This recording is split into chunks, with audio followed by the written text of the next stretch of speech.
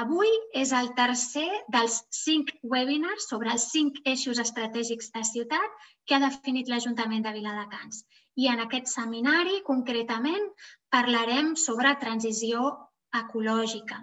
I tindrem com a ponent inspirador eh, doncs, eh, en primer lloc, en Juan del Río, que el tenim per aquí. Juan, si vols, eh, si vols eh, saludar, gràcies. Eh, després Hola. també tindrem... Hola. Eh, després eh, també tindrem en Jordi Mazón, que també el tenim per aquí. És el tinent d'alcalde de Transició Ecològica. Hola, Jordi. I, per últim, tindrem a la Encarna Garcia, que és la tinenta d'alcalde de Medi Ambient i Sostenibilitat, que farà la cluenda. Encarna, si vols també eh, que tothom et tingui eh, referenciada, perfecte. Molt bé. Doncs eh, també ens agradaria remarcar que aquest és un webinar eh, diferent, ja que no només, eh, com us deia, consisteix a escoltar persones expertes en la, en la matèria, sinó que, sobretot, volem escoltar escoltar-vos a vosaltres. Així que després de la intervenció de, al Juan del Río. Eh, li podrem fer les preguntes, com us deia, via xat. Només cal que les escriviu i que les envieu per aquest, per aquest eh, mateix canal. I després en Jordi Mazón presentarà la proposta de reptes i accions dins l'eix de transició ecològica de cara al 2030. La segona part del que farem aquesta tarda, que és el realment eh, important per al futur d'aquest projecte, eh, i, és, i ho és especialment important perquè sereu vosaltres eh, els i les protagonistes. Val? Farem uns grups de treball molt dinàmics val? per recollir les vostres propostes i al final posarem en, ho posarem en comú amb la resta de participants. Val? I al final de tot doncs, us explicaré també com poder seguir participant eh, en tot aquest projecte. D'acord? Així que, bé, doncs ara el meu company, l'Àlex Escàmez, que és eh, arquitecte de l'empresa pública Vimet, eh, que colidera la, for la formulació de l'agenda urbana local, us explicarà com s'emmarca aquest projecte. O sigui que, Àlex, quan tu vulguis. Perfecte. Eh, doncs bona tarda a tothom i gràcies per la vostra assistència. El webinar d'avui s'emmarca en el procés participatiu Imagina la Vila de Cans del 2030, eh, aquest procés té com a objectiu reflexionar amb la ciutadania sobre l'estratègia de futur de la ciutat. El resultat d'aquest procés seran dues estratègies. Eh, D'una banda, l'estratègia Viladecans 2030 i per l'altra, l'agenda urbana local. A l'hora de plantejar aquests documents estratègics, a més de mirar els reptes locals, s'han volgut tenir presents també els grans reptes globals, ecològics, socioeconòmics, sanitaris i culturals, que, al igual que la resta de ciutats del món, tindran un impacte directe a la nostra ciutat i marcaran el seu futur. En aquest sentit, en els darrers anys s'han elaborat una sèrie de documents internacionals, com l'Agenda 2030 de les Nacions Unides i les agendes internacionals. Com veurem a continuació, aquests documents tenen com a objectiu donar resposta a aquests reptes, tot impulsant un nou model de desenvolupament just amb les persones i amb el planeta. L'Agenda 2030 va ser aprovada l'any 2015 per tots els estats membres de l'ONU aquesta agenda defineix 17 objectius de desenvolupament sostenible, els coneguts ODS, per tal de fer front als grans reptes globals actuals i aconseguir un desenvolupament sostenible al 2030 sense deixar ningú enrere, és a dir, garantint la sostenibilitat en la seva triple visió, la social, l'ambiental i l'econòmica. A més, tal com apunta la pròpia Agenda 2030, tothom pot i ha de contribuir a, a assolir aquestes fites, des dels estats, a les regions, les ciutats, el sector privat, el teixit associatiu, així com els ciutadans a nivell individual. Després de l'aprovació de l'Agenda 2030 i dels Objectius de Desenvolupament Sostenible, s'han formulat diverses agendes urbanes internacionals, com la nova Agenda Urbana de les Nacions Unides, l'Agenda Urbana de la Unió Europea o, a nivell estatal, l'Agenda Urbana Espanyola. Un dels principals objectius d'aquestes agendes és la transposició dels objectius de desenvolupament sostenible a l'àmbit urbà, per tal d'aconseguir un desenvolupament sostenible a nivell de les ciutats, que és on viu la major part de la població mundial. És en aquest context, tenint en compte les directrius que ens marquen aquestes agendes internacionals, que Viladecans inicia el procés d'elaborar l'estratègia Viladecans 2030 i l'agenda urbana local. L'estratègia Viladecans 2030 ha de definir com serà la ciutat l'any 2030, tenint en compte les principals agendes internacionals i estarà enfocada en els cinc eixos estratègics de ciutat. L'eix d'innovació educativa, l'eix de dinamització econòmica, l'eix de transició ecològica, que ens ocupa la sessió d'avui, l'eix d'estil de vida saludable i qualitat de vida i, finalment, l'eix de resiliència per la gestió de crisis. I l'agenda urbana local i el seu pla d'acció traslladaran els objectius globals fixats des dels organismes internacionals i nacionals a la nostra realitat de ciutat i fixaran actuacions concretes per desenvolupar Viladecans fins l'any 2030. A més dels cinc eixos de l'estratègia Viladecans 2030, l'agenda urbana local incorporarà tres eixos relatius al model de ciutat, a la mobilitat i a l'habitatge. Per finalitzar, és molt important ressaltar que la cohesió, la inclusió, la innovació social i la igualtat de gènere són conceptes transversals en tots aquests vuit eixos.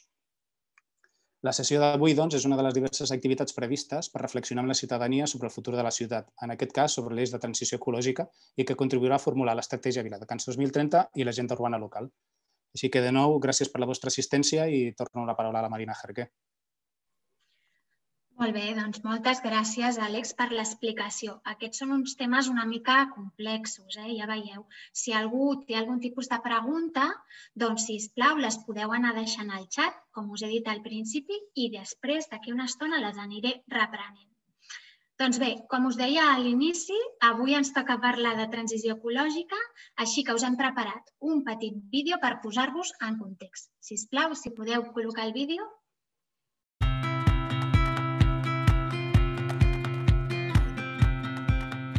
Et necessitem. Sabem que Viladecans pot arribar a ser la ciutat igualitària, justa i sostenible que tots somiem. Seguint els eixos estratègics de la nostra ciutat, ens hem marcat 19 grans reptes que tenen en compte els objectius de desenvolupament sostenible i les principals agendes urbanes internacionals i nacional, però no podem traçar el camí a seguir sense tu. El futuro del planeta depende de todos y todas, Desde Viladecans apostamos por la transición ecológica y lo queremos hacer fomentando modelos productivos y de consumo más sostenibles. La eficiencia energética y las energías renovables, la movilidad baja en carbono, los residuos cero, la protección de la biodiversidad y la naturalización de la ciudad. ¿Quieres aportar idees? Com podem conscienciar més a la ciutadania en transició energètica? ¿Imaginas un espai públic sense contenidors d'escombraries? ¿Cómo podemos transformar nuestra manera de producir y consumir para reducir las emisiones de CO2? ¿Cómo podemos hacer una ciudad más verde? Creus que l'autobús podria ser el rei del transport interurbà? No deixis que els altres parlin per tu i digues la teva.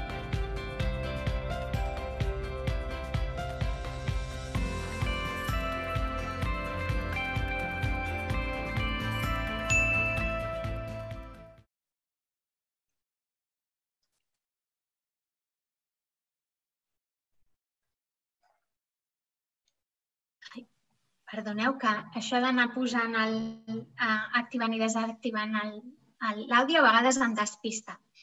Eh, doncs una vegada hem vist aquest, aquest vídeo, a, a cada webinar hem convidat a un ponent inspirador o a una ponent inspiradora perquè ens ajudi a encendre la bombeta de les idees i siguem capaços després en els grups de treball de proposar eh, doncs, idees molt creatives per la nostra ciutat i quines seran les millors idees. En aquesta ocasió, com us deia, doncs hem convidat el Juan del Riu. Um, hola, Juan, que ara t'he perdut per aquí per la immensitat de les caretes de, de tothom. Suposo que em sortiràs d'aquí un moment. Val. Eh, aquí tinc. Val, doncs, eh, mireu, en Juan és biòleg, ell és eh, activista, educador i dissenyador per la sostenibilitat. Eh, a més a més, també és el cofundador de la Red de Transició. La Red de Transició és un projecte en forma d'associació formada per un grup divers de moltes persones que treballen per visibilitzar i dinamitzar el moviment de la transició a Espanya. Val? Eh, a més a més, també és cofundador del projecte Municipios en Transició, també és facilitador internacional de projectes en transició i és co-coordinador del projecte Ecolise de la xarxa europea d'iniciatives comunitàries sobre canvi climàtic i sostenibilitat. Eh, és l'autor de la guia del moviment en, tra en transició, o sigui que ha dedicat la seva carrera professional i està centrada en la gestió ambiental i la promoció de nous models de vida sostenible i resiliència local. Pues dijo, cuando tú vulguis, Juan, cuando tú quieras, en el idioma que tú quieres, pues adelante.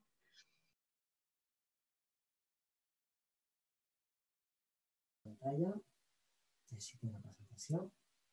A ver. A ver, bueno, aquí. Vale. A ver. Por aquí. Vale. Perfecto. Y momento. Vale. Bueno, pues buena tarde, buenas tardes. Eh, es un placer para mí estar con vosotros este, este ratito, estos, esta, estas dos horas. Y la verdad es que, bueno, me presentáis como ponente inspirador, pero la inspiración me viene de, de vosotros, porque no son tantos los municipios que están eh, llevando a cabo estos procesos tan ambiciosos a nivel de, de, diseño de lo que es la Agenda 2030 con, con, todas estas ideas y proyectos. Así que, bueno, un placer estar aquí y enhorabuena por el, por el trabajo. Entonces, a ver, eh, eh, en este ratito que voy a estar con, con, vosotros, mm, quiero sobre todo nombrar algunas ideas clave de lo que yo creo que es importante para un proceso de transición ecológica y después mostraros algunos ejemplos que, creo que pueden ser inspiradores. Entonces, el, el punto de, de, partida clave a nivel ecológico y, bueno, en general a nivel, a nivel sistémico, eh, es que estamos en un punto clave en la historia de la humanidad eh, ahora mismo eh, muchos geólogos denominan el momento actual como el antropoceno, ya habréis oído este término seguramente, que indica el momento en la edad geológica en el cual la especie humana es el principal agente de cambio en la superficie de la Tierra.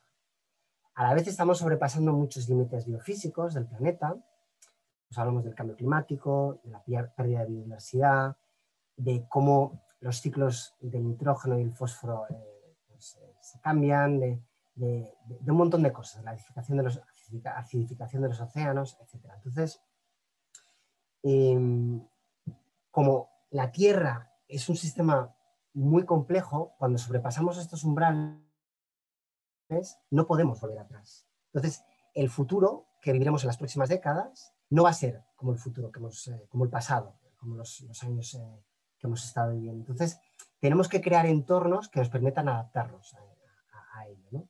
Y tanto los sistemas sociales como económicos como ecológicos están totalmente interrelacionados.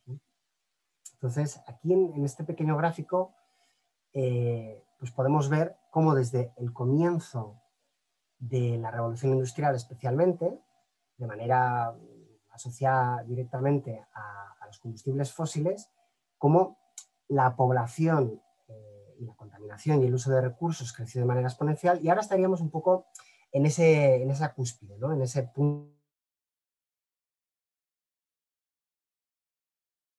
futuros eh, podemos eh, encontrar? Bien, no podemos predecirlo, obviamente, pero sí que eh, si pensamos en las, las posibilidades, pues bien, tipos de escenario que generalmente nos llegan desde los medios de comunicación, desde las películas, desde, en fin, eh, desde los más media, suele ser, por un lado, la fantasía tecnológica. Eh, ¿Cuántas películas conocéis ¿no? que nos hablan de que podremos viajar a otros planetas, que encontraremos una, algún tipo de fuente de energía que, pues, que lo resolverá todo, que pone una, una fe ciega en la ciencia, ¿no? Y que entonces, por tanto, pues nosotros pensamos, bueno, pues eh, ya encontrarán la solución y no hay nada que hacer. ¿no? Pues bien, la realidad es que no podemos seguir creciendo a nivel de, de consumo de, de, recursos, eso es un hecho. Ahora mismo estamos ya consumiendo varios planetas y, eh, y bueno, la tecnología tiene y tendrá un rol clave, pero por sí misma no va a ser suficiente. Entonces, eh, esa, ese posible escenario de la fantasía tecnológica es una falacia. Si nos vamos al otro extremo, cuando veis ahí abajo el colapso, pues bien, el colapso, primero yo diría que hay que eh, un poco mmm, perder el miedo a esa palabra, porque en el fondo significa la pérdida de complejidad de un sistema, de una manera relativamente rápida. Y eh, muchos lugares del mundo ya están en este tipo de, de, escenario. Entonces, esto sí que es posible, pero desde luego no es deseable. Eh, entonces, entre medias hay muchas posibilidades. ¿no? Y de lo que vamos a hablar, sobre todo en, este ratito, es más de este posible descenso creativo, que es un descenso a nivel de consumo de, recursos, pero puede ser un crecimiento a muchos otros niveles. Eh, tiene que ver con el cómo relocalizar nuestras economías, cómo eh, producir nosotros mismos parte de nuestros, eh, recursos, cómo disminuir la escala y en el fondo pues que todo tenga un poco más de, coherencia. Otro aspecto clave como punto de partida es que al final, yo hoy os voy a hablar sobre todo de, transición ecológica, pero todos los ejes que estáis trabajando están interrelacionados. Estamos hablando de una transformación profunda, de un cambio sistémico, y eso es lo que, eh, lo que necesitamos en este proceso de, transición. Entonces, si bien es cierto que eh, tenemos que también actuar en el corto plazo, es importante identificar cuáles son las, raíces, las causas raíces, eh, que generalmente tienen que, ver con, temas culturales, a la hora de transformar en el largo, largo plazo. Entonces, tanto la crisis ecológica como la económica, social, la espiritual, ahora la crisis del COVID, todo ello está, está relacionado. Entonces, a la hora de trabajar eh, y diseñar nuestros planes de actuación, tenemos que tener en cuenta estas, estas relaciones. Una serie de conceptos eh, clave que son diferentes pero son complementarios. Y todos lo sabréis, lo sabréis oído. Bien, eh, el término sostenibilidad, que pues, eh, es una palabra muy plástica, que se utiliza continuamente y que eh, muchas veces se utiliza obviamente de manera errónea, porque, por ejemplo, un coche no puede ser sostenible, ¿no? Eso es un gran oxímoron. Entonces, ¿pero qué quiere decir la, la sostenibilidad? Habla de sostener, de mantener, de mantener aquellos ecosistemas que pues bueno, aquellas sociedades, aquellos ecosistemas que, que, son necesarios. Pero por sí misma la sostenibilidad no es suficiente. Necesitamos trabajar la resiliencia, necesitamos reconstruir esa capacidad de adaptación de nuestras ciudades, de nuestros pueblos, frente a los retos que ya estamos empezando a, vivir. Pensad que ciudades, como en este caso Vila de Cans, o ciudades más grandes, en apenas unos días si no hubiera transporte por carretera, eh, los supermercados se quedarían vacíos. Fijaros la poca resiliencia que tenemos a nivel energético, a nivel alimentario, eh, etcétera, etcétera. Entonces, crear comunidades, crear pueblos, ciudades que sean más resilientes es clave. Este es un, no solamente frente a los choques, eh, frente a las emergencias, que es uno de los ejes de vuestro plan, sino también en el día a día. Entonces, esto, esto es clave el concepto de regeneración, que es un concepto que va más allá del de sostenibilidad y es clave. No solamente tenemos que mantener lo que tenemos, pero también tenemos que regenerar eh, tanto nuestros tejidos sociales como nuestros eh, ecosistemas. Y por último, la idea, el concepto de transformar, de que tenemos que pensar que no vamos a poder eh, vivir como hemos vivido hasta ahora y por tanto repensar el cómo hacerlo y esa idea de perder el miedo a la, transformación. Entonces, estos 10 años son un gran reto y a la vez una grandísima oportunidad eh, para intentar trabajar todos estos temas. Para ello, es crucial entender que muchos actores, todos los actores de, un pueblo, una ciudad, son claves y que tenemos que diseñar procesos colaborativos participativos como este mismo que se está, eh, está pasando ahora mismo para diseñar, trabajar e implementar cuáles son todos aquellos proyectos eh, del proceso de transición ecológica. Eso, es, eso es, clave. Y que en estos procesos colectivos, de manera metafórica, tenemos que tener, eh, incluir tanto lo que se podría llamar la cabeza, como las manos, como el corazón. ¿Y esto qué quiere decir? Por cabeza, que estas son unas metáforas que utilizamos mucho en el movimiento de transición, eh, hacemos referencia a tener aquellos datos eh, verídicos, científicos, basarnos en, datos reales. Por manos hacemos referencia a implementar las cosas, a tener proyectos concretos, físicos, claros en, nuestro entorno. Y por corazón hablamos de, las curas, de los cuidados, de tener en, cuenta las relaciones entre las personas, que muchas veces es uno de los aspectos que más dejamos. Y además, cuando estamos afrontando todos estos retos eh, ecológicos y, bueno, también obviamente sociales y económicos, eh, el aspecto psicológico del cambio es muy claro. Es, importante también tenerlo, tenerlo en cuenta. Al final, de lo que hablamos es de una transición cultural. Eh, hablamos de, ese cambio sistémico, de una transición cultural, y aquí es donde tenemos que tener claro que hay que mm, repensar cuáles son nuestros valores, cuáles son nuestras creencias y construir esas historias y mitos nuevos de esa transición a la que queremos ir. entiendo que eso es un poco también lo que estáis haciendo ahora con, todo este proceso. ¿Cómo nos imaginamos Vila de Cans en 10 años, en el 2030? Si no la soñamos, si no la, si no la visionamos primero, difícilmente vamos a poder llegar hacia ella. ¿no? Entonces, bueno, estos son procesos relativamente largos, pero son, son, son muy bonitos. Pues bueno, pues ahí, ahí estamos. ¿no? Y en esa nueva manera de, de, entender el, mundo, claramente tenemos que ver la economía no como aquello que engloba todo, sino como una parte de la sociedad y la sociedad como una parte de, ese ecosistema que lo sustenta. ahora mismo la sociedad capitalista casi que lo ve al contrario. Es como la economía lo es todo, es lo más importante y dentro tenemos la sociedad y por último, lo menos importante, es el medio ambiente que solo nos sirve pues, para, simplemente para sustentarnos. Bien, entonces, ahora mismo hay miles de proyectos en todo el mundo, eh, a muchas escalas. Estamos hablando desde mm, proyectos pequeñitos a nivel eh, familiar hasta iniciativas en barrios, en pueblos, en ciudades y grandes redes, muchos movimientos, también eh, universidades, municipios, en fin, están pasando muchísimas cosas interesantes en el mundo. Eh, por ejemplo, el movimiento de transición del que, yo formo parte, pues eh, ahora mismo hay más de 1.500 iniciativas en todo el mundo. Eh, la red de, municipios en transición, pues hay varios cientos. el mapa que tenéis aquí a la derecha es el de Ocoaleas en el mundo y hay también varios miles.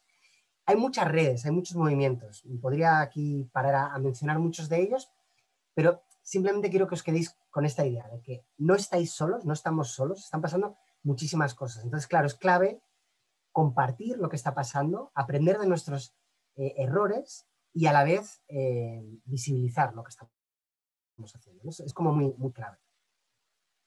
Bien, voy a ahora pararme un poquito con más detenimiento en algunos ejes que yo creo que son claves conectado, eh, conectados con la transición ecológica y conectados con, lo que se puede hacer en un municipio, en, un pueblo en este proceso de, transición. Eh, primero vamos a hablar un poquito de, alimentación. Normalmente los, eh, grupos de transición, ya sean más bien impulsados por, eh, por un municipio o por una asociación o un colectivo, muchas veces empiezan por mm, proyectos que tienen que ver con alimentación y esto es clave.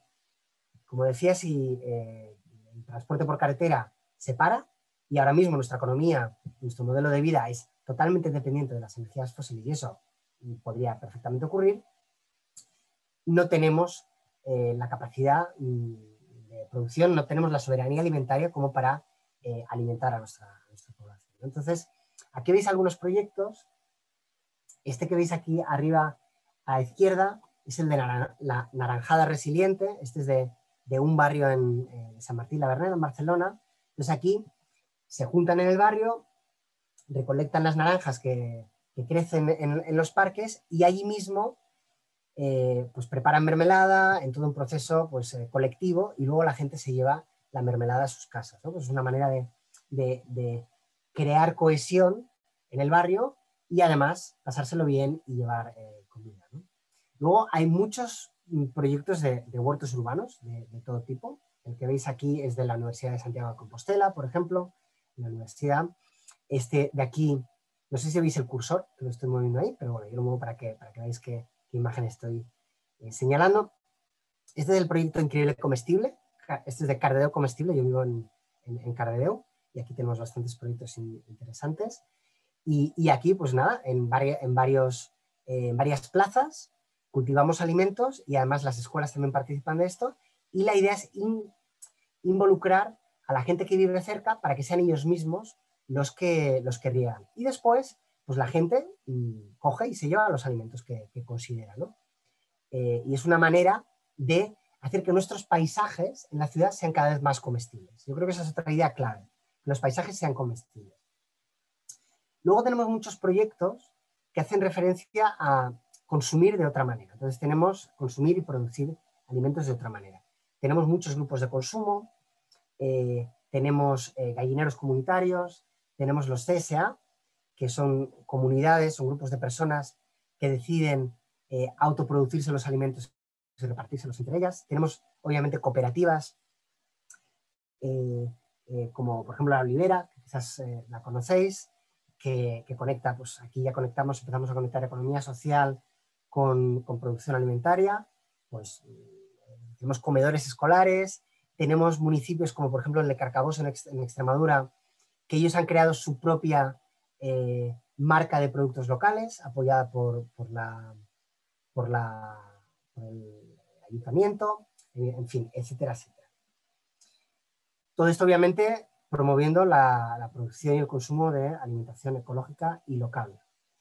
Eh, a nivel de energía, todos los vectores que yo estoy nombrando, alimentación, energía, etcétera, todos están, están interrelacionados y muchas veces cuando llevamos adelante proyectos, como en este caso el, del Vilabat, que, es un proyecto clave en, Vila de Cans, toca varias áreas. Entonces, a la hora de diseñar proyectos, creo que esto es clave.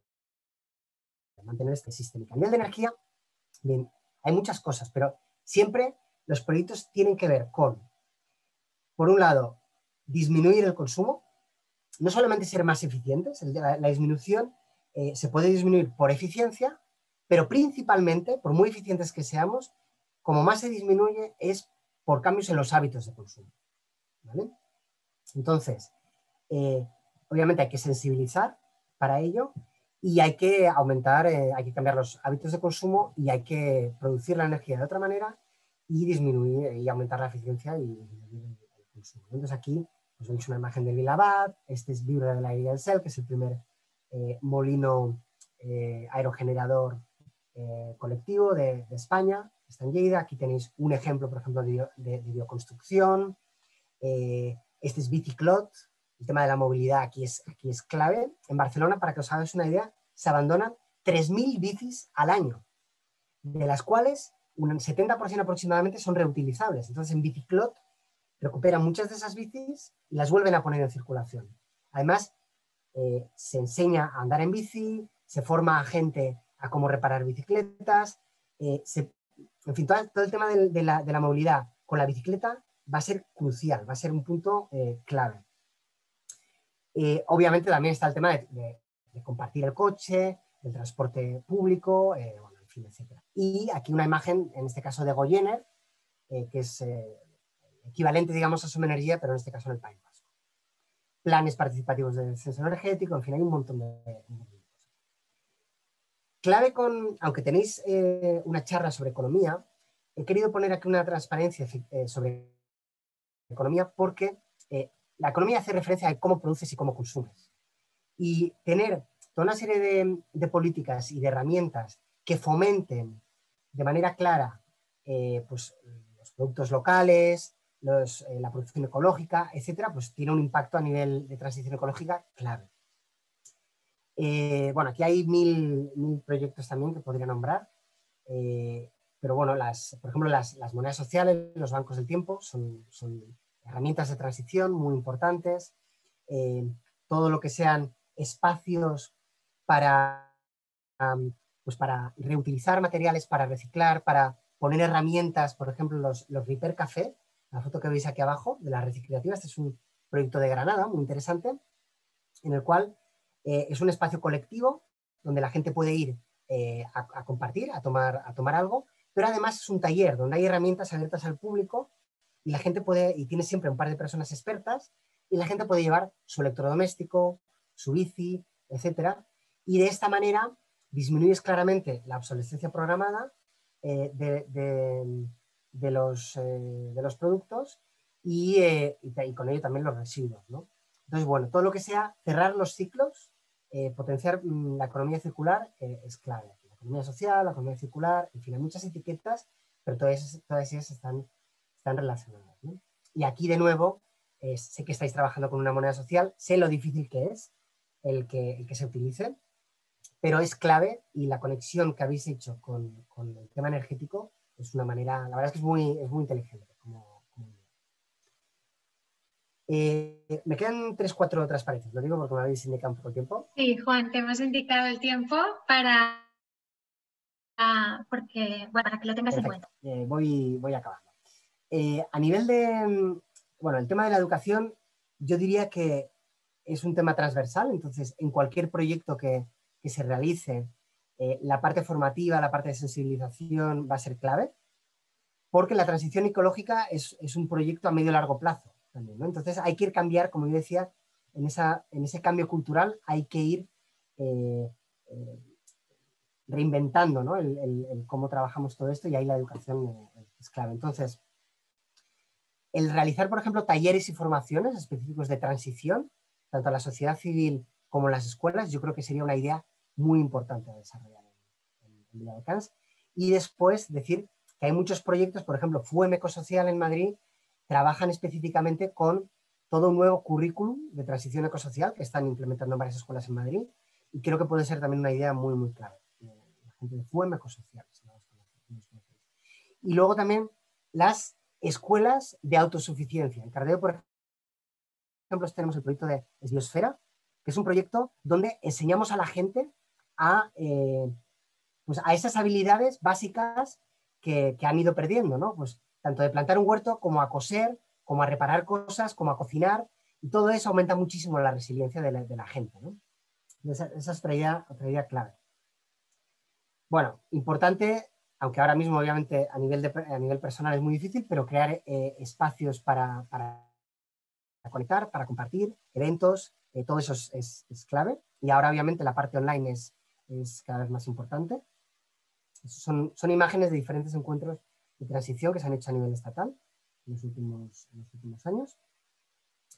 Y por último, eh, y, bueno, esto es clave, tener en cuenta la escala a la que se trabaja. Y aquí la escala municipal, que es la que estáis trabajando eh, vosotros, yo diría que es un, es un punto palanca, es, un, es, una escala clave, porque es una escala en la que eh, puedes tener un gran impacto y a la vez tienes una capacidad de, de incidencia grande. Si quieres trabajar eh, a una escala pues, eh, nacional o a una escala regional, es mucho más difícil. Y si trabajas solamente pues, en tu casa, el impacto es muy pequeñito. ¿no? Entonces, hay muchos proyectos trabajando a este, a este nivel. Yo sobre todo trabajo en el proyecto de, municipios en transición, de Municipalities in Transition, y os puedo pasar también varios enlaces después para que veáis un poco lo que estamos haciendo. Y, y, es, muy, es muy interesante porque son todos procesos participativos en los que trabaja la sociedad civil con la administración pública de la mano para diseñar eh, justamente el cómo queremos hacer juntos este proceso de transición. Entonces, bueno, pues eh, animaros mucho con lo que estáis haciendo y con esto ya voy a ir, eh, voy a cerrando. Así que, bueno, pues muchas, muchas gracias. La verdad es que ha sido todo un poco rápido porque son un montón de ideas que os podría compartir, pero vamos con las preguntas y así me, podéis, preguntar. Pues eso es todo. Gracias. Bueno, aquí veis algunas, algunos enlaces por si os interesa investigar más. Y aquí veis, este es un documental que estoy desarrollando ahora mismo, justo sobre este tema, se llama Alternativas. Estamos ahora en la fase de edición.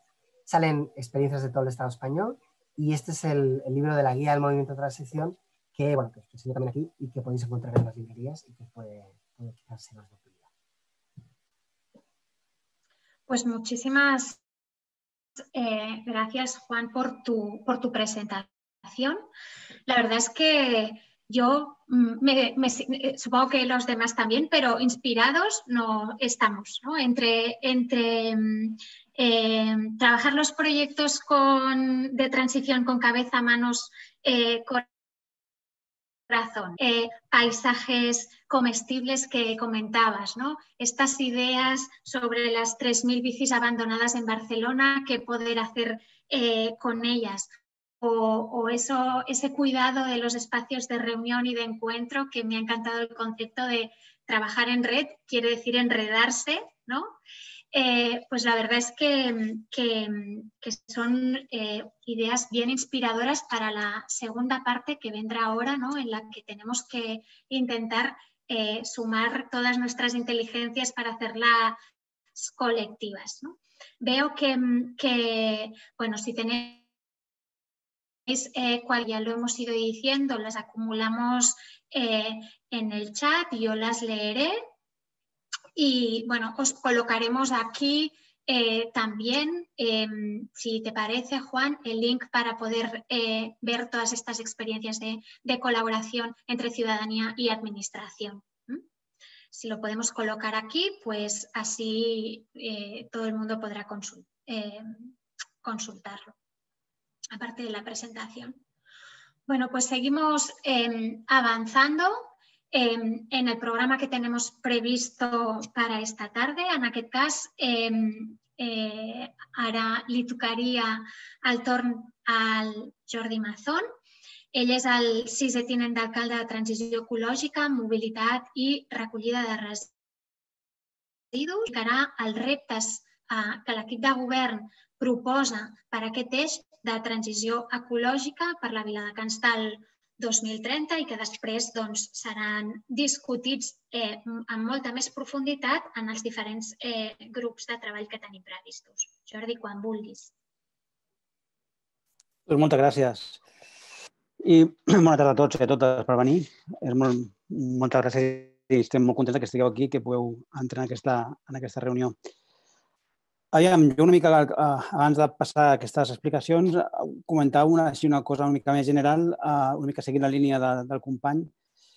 El futur del planeta passa també pel futur de Viladecans, això és una evidència, i aquest futur passa per ser més sostenibles, molt més del que ho som actualment o ho intentem ser.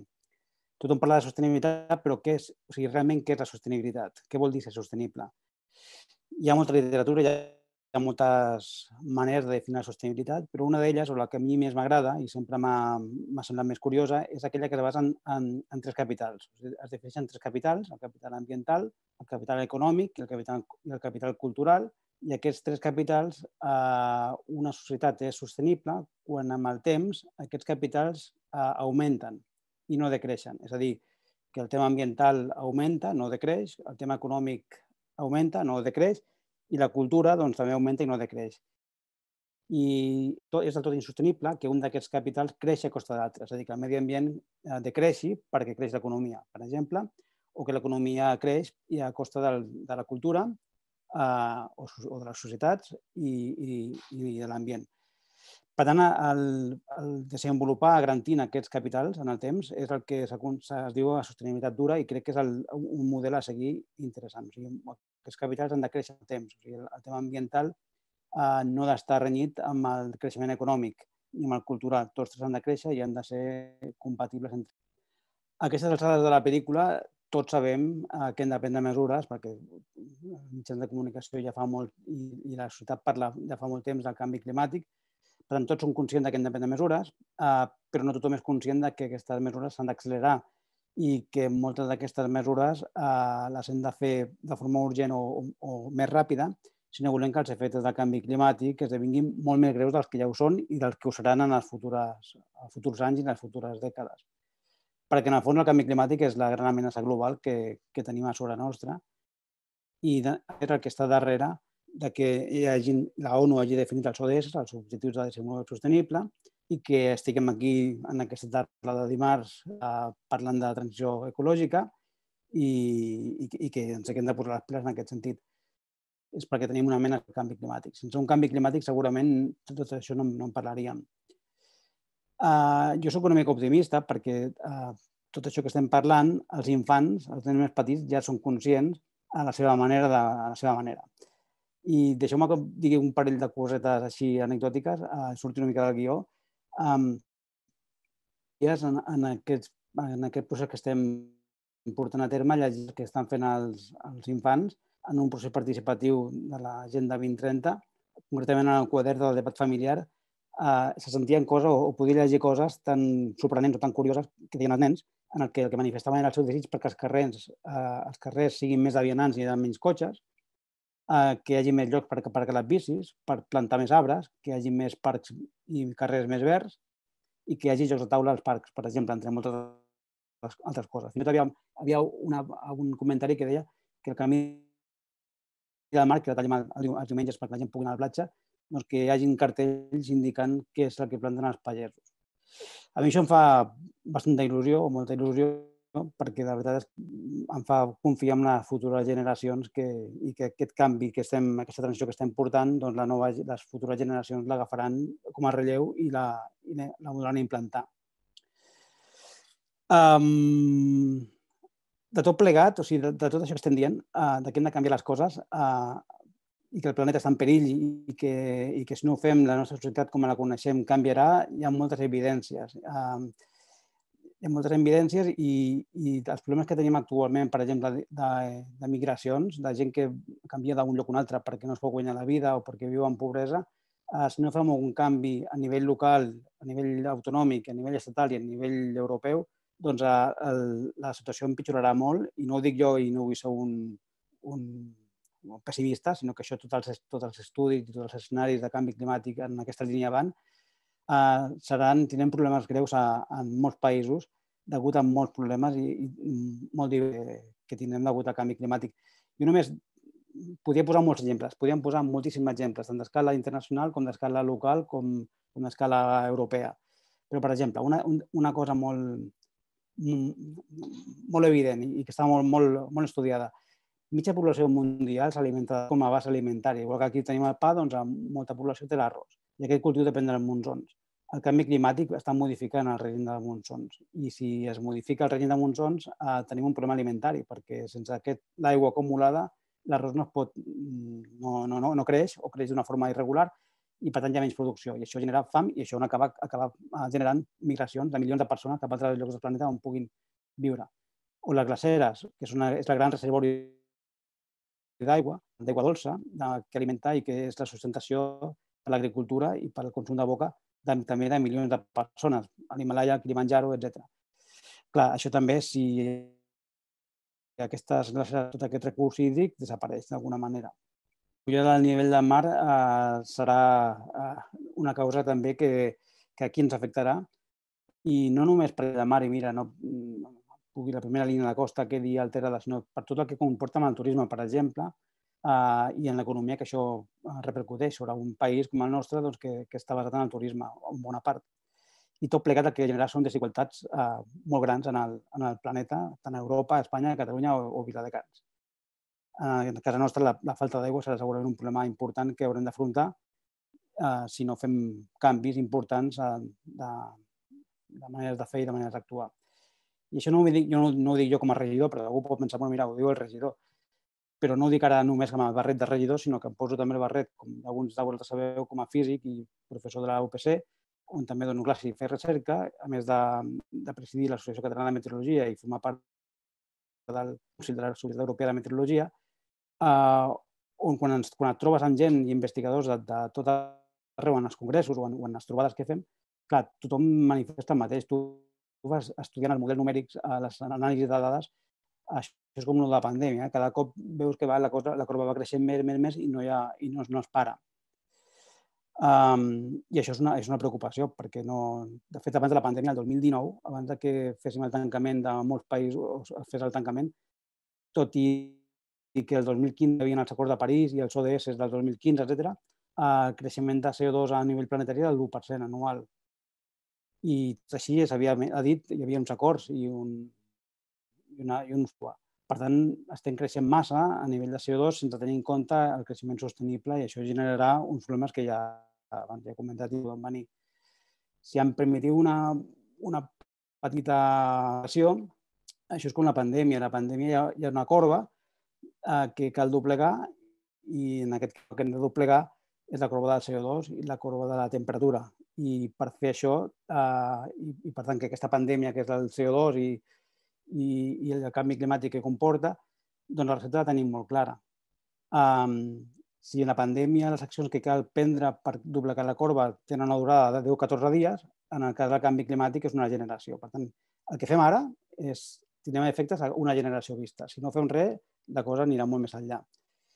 I aquest pla doblegar la corba eh, és el que és l'agenda 2030 de Viladecans en la qual eh, hem de participar tots i la que estem definint amb aquest procés participatiu.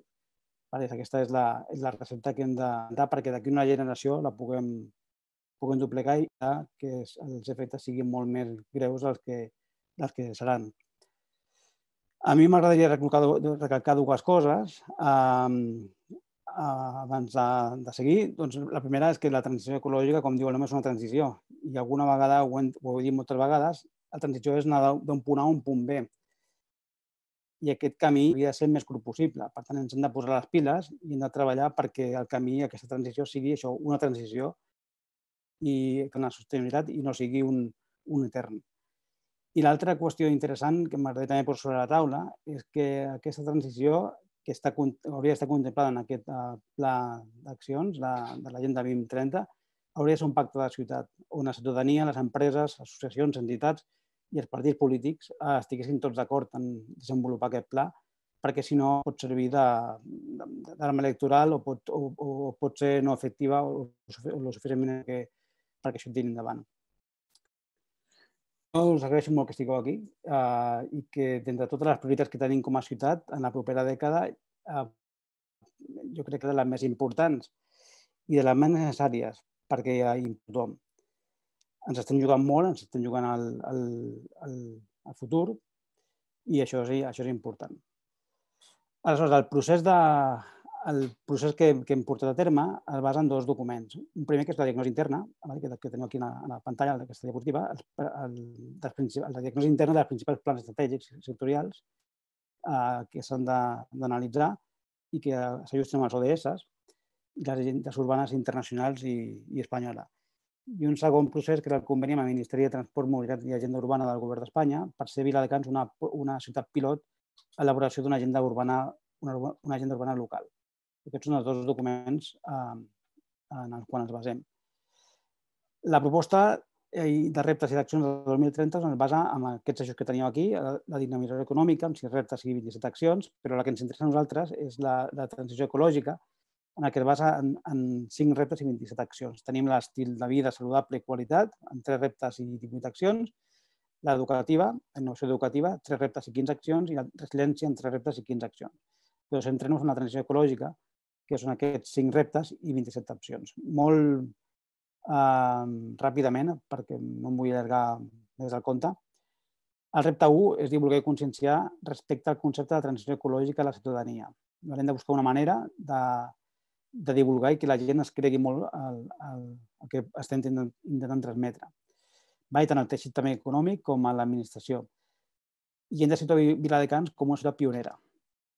Això és important perquè, com abans també comentaven, doncs, bueno, no hi, ha, hi ha ciutats que estan començant a treballar, però nosaltres volem ser pioners en això i volem ser referents a, amb el tema de la transició ecològica i que sigui un model a, un model a seguir. El repte 2 és transformar els models productius eh, i de consum reduint emissions de CO2. Va millorant l'eficiència energètica, aquí tenim una eina molt potent, que és el, el Vilabat, i augmentar les energies renovables eh, per tal d'intentar ser una, una ciutat que no podrem ser-ho autosuficient en energia, és molt pràcticament impossible per, per, pel tamany i per l'energia que, que ens demana, que cal, però sí arribar a tendir a tenir una, una, una autosuficiència molt gran, molt elevada. I això que també pot ser una Montlagoserat, que és, que és una ciutat neutra de carboni, eh, també és una, una, un escenari que volem arribar i que pot ser molt complicat i pot ser una, una cosa molt ambiciosa, però fixeu-vos una cosa, la Unió Europea marca pel 2030 que el, tot el continent europeu ha de reduir un 55% les emissions de CO2 i el 2050 o a partir del 2050 ja hi hagi ciutats que siguin neutres de carboni. Si això no, això no ho diem nosaltres com a Ajuntament, sinó que això ho marca la Unió Europea una mica conscient de la dificultat i de, i de la situació greu en la que ens trobem. Per nosaltres, com a municipi, hem d'assolir o intentar tendir a, a aquests objectius. Um, a través de Vilabat creiem que tenim una eina molt potent per poder fer-ho i amb el, tots els comitès directors que estem ara portant a, a Viladecans creiem que hem de tendir cap a aquest, cap a aquest horitzó. El repte 3 és fomentar una mobilitat baixa de carboni, potenciar la infraestructura que permetin augmentar aquest desplaçament a peu, la micromobilitat i el modi d'intercanvi. A Viladecans no és, el problema de la mobilitat a Viladecans no serà eh, interna, sinó que serà amb l'àrea metropolitana. I això potser se'ns escapa una mica de nivell local, però no treballar i segurament que si tots ens posem alineats a l'àrea metropolitana aconseguirem un, un, un transport molt més eficient i molt més sostenible. a Viladecans estem fent els deures, hem fet des de zero carrers fins a modificar l'ordenança de circulació, etc. Doncs, eh, posem les piles. Eh, també Viladecans és una ciutat en la que de punta a punta caminant són 25-30 minuts, per tant és una ciutat compacta i això ens ajuda. I la mobilitat eh, és un, un element clau en la, en la, la reducció d'energia per poder assolir aquest objectiu de neutralitat de carboni.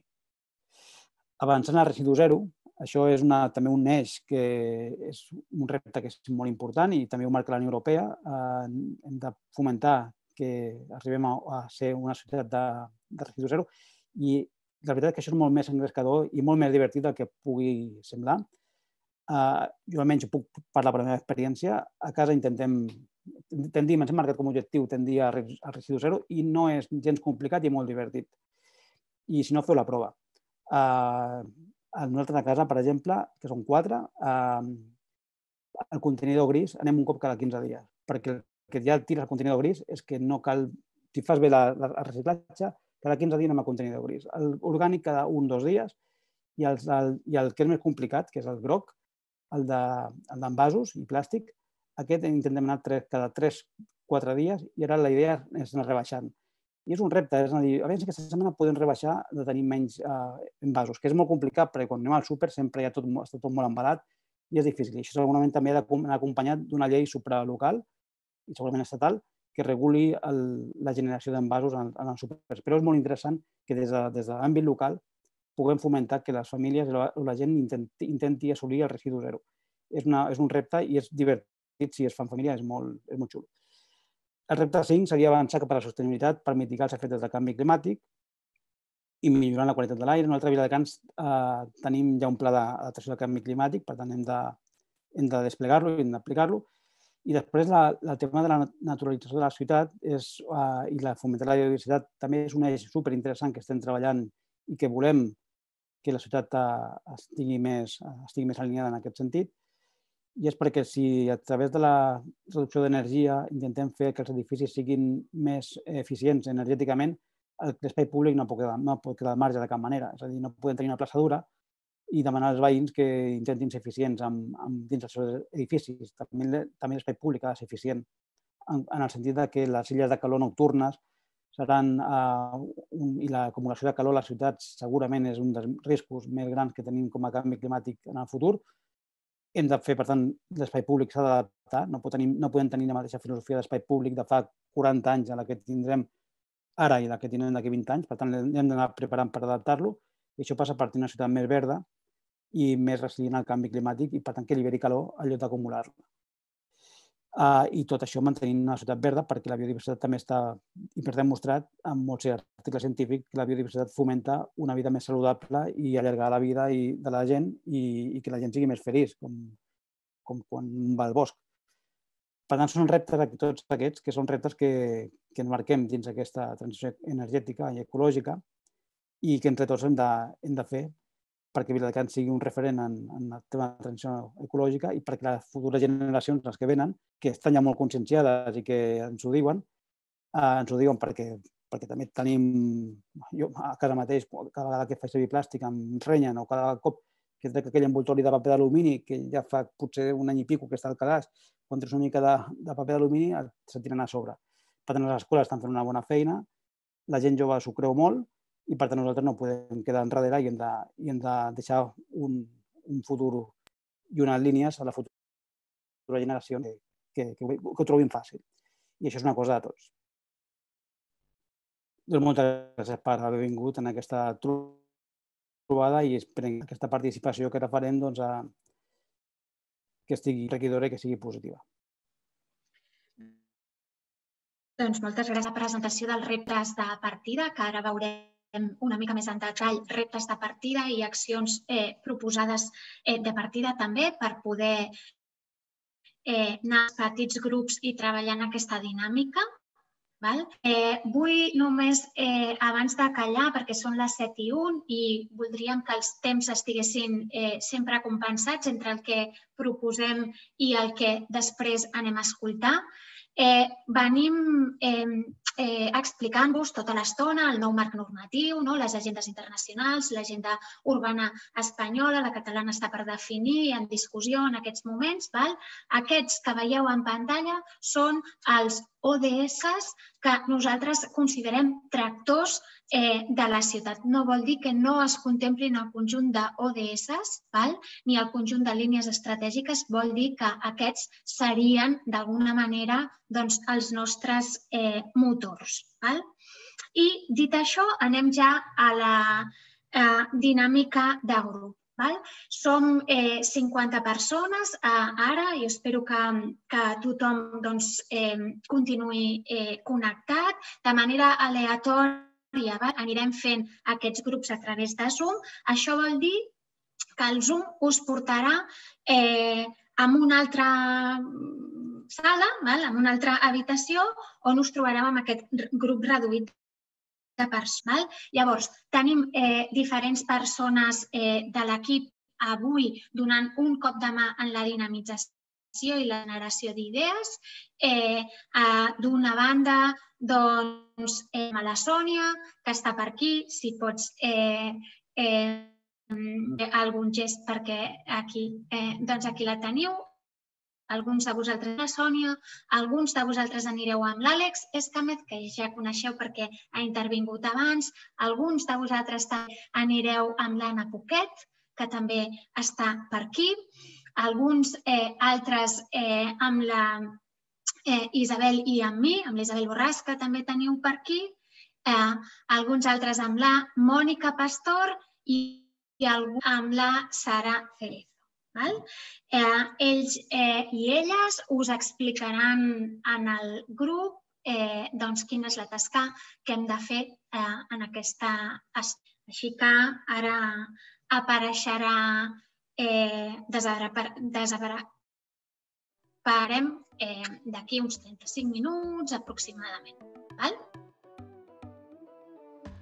Bàsicament, el, el, el nostre repte era la part de les emissions de, de CO2 i bàsicament el nostre tuit és cal un canvi del consum energètic, s'ha d'incloure l'ús de noves fonts energètics i la reducció de consums i també ser una mica més sostenibles. Val? Hem tingut una mica de debat, hem parlat una mica del, del tema de, de l'energia eòlica, que ha quedat una mica apartada i creiem que és una font d'energia molt a tindre en compte.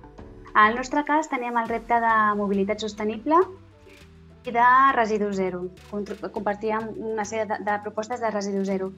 I el tuit que d'alguna manera hem, hem decidit era en transició ecològica, menys és més.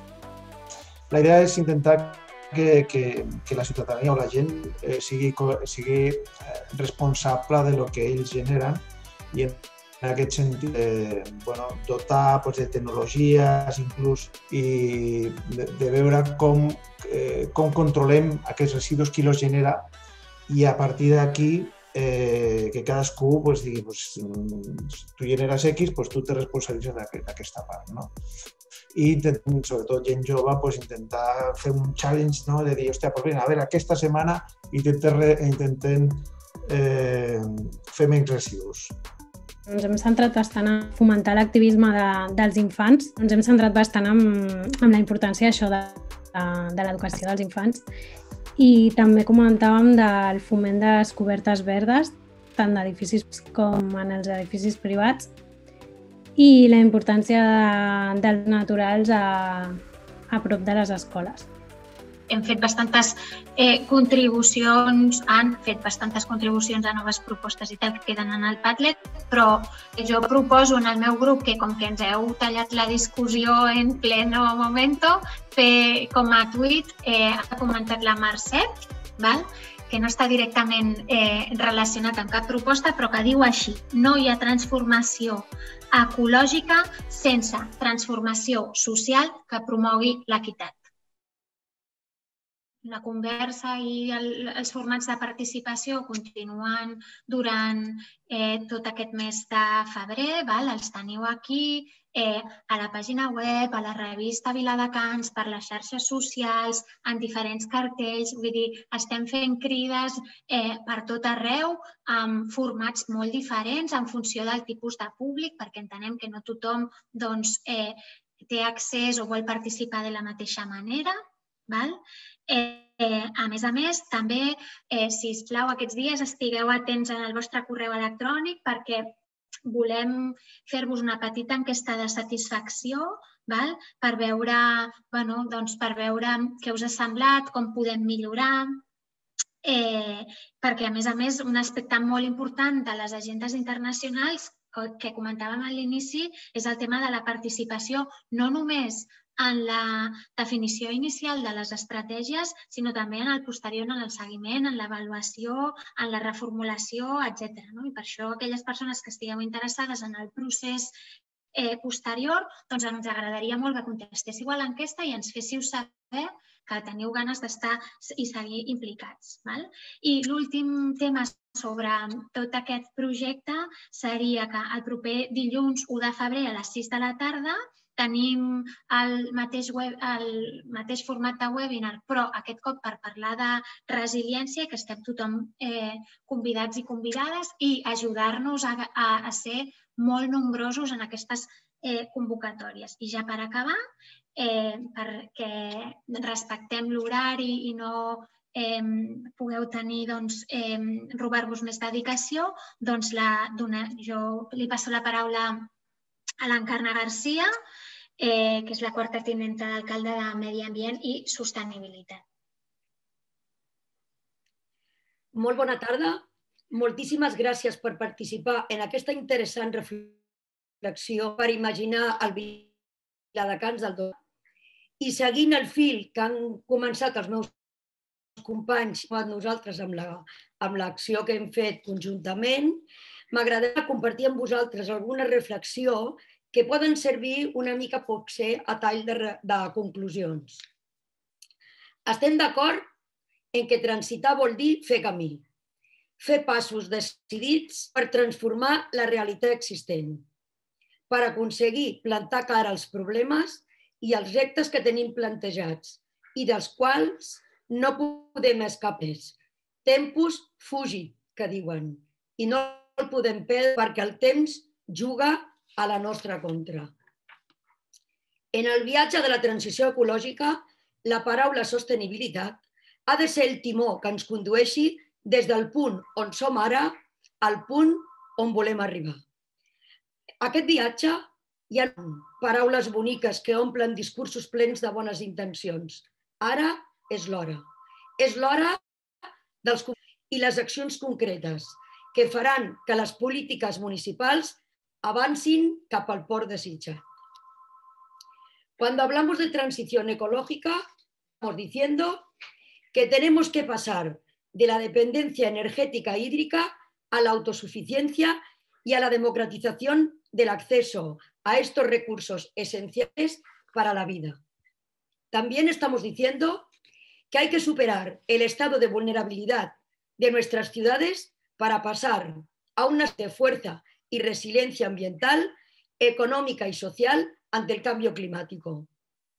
Entendemos que transitar también implica pasar de la economía lineal basada en el consumo de recursos y generadora de cantidades y contaminantes a una economía circular, verde, inclusiva, una economía baja en carbono, eficiente en recursos y que genere puestos de trabajo de calidad. Bajas de la transición ecológica, tenemos que abandonar nuestras ciudades para abrir paso al verde de la biodiversidad y de la vida. Y que la calidad ambiental y la salud sean los motores en este proceso de cambio, porque el bienestar de las personas es una prioridad indiscutible. No podemos ignorar que estamos transitando de la era industrial a la era digital. Y esto implica un cambio en el paradigma que también se tiene que traducir en una nueva mirada sobre el urbanismo de la ciudad. Las ciudades en transición tendrán que ser planificadas desde el urbanismo ecosistémico, en el que el funcionamiento de la naturaleza sea el modelo a seguir. Las ciudades del siglo XXI han de dejar de ser el foco principal de contaminación y de conflicto para pasar a ser unas organizaciones complejas, metabólicas eficientemente y socialmente cohesionadas, sin olvidar que el modelo de transición también apuesta por avanzar hacia un nuevo modelo en el que la ciudadanía supere la mera participación para entrar a formar parte en la toma de decisiones. Un modelo de gobernanza público, privado y participado. Sirva como ejemplo, apuesta por este modelo, nuestro proyecto de transición energètica El Vilabat. Com podem veure, tenim molta feina i cada vegada menys temps per fer-la. Hem d'abandonar les proves pilot i passar a l'acció transformadora i propiciar els canvis imprescindibles perquè la sostenibilitat econòmica, social i ambiental sigui una realitat palpable. Per fer-ho possible, només vostès són els únics imprescindibles. Moltes gràcies.